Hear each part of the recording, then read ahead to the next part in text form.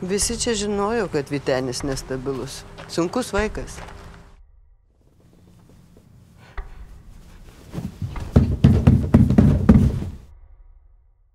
Kam iš čia atvažiavot? Apsižiūrėt. Ko? Kairį. Vietų susijusių su matų nužudimu. Kiti laikai buvo.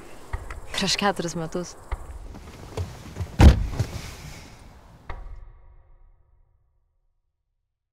Aš noriu atkeršyti už savo brolį, čia normalu, tai?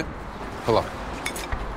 Man tikrai reikia pasišnekėti su savimi. Atsiprašau, perdu, kad jūs pyzdinumėte šiandien nesąmončių neklausinėt. Rankos visas buvo nubrozdintas nuo vynų lašinė. Iš visų jėgų įsikibęs bandė perlipti, bet kojas buvo sulaužyti. Čia.